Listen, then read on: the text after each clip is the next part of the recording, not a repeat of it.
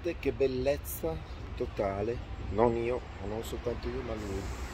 O meno belli i commenti di Edmondo Sinca che dice che insomma parla del mio sfintere sfondato, complimenti, un ex luogotenente molto professionale, bravo.